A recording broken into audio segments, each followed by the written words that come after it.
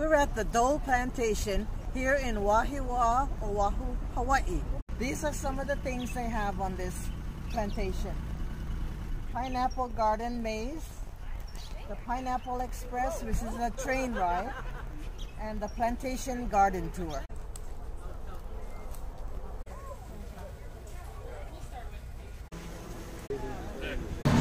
Good morning everyone.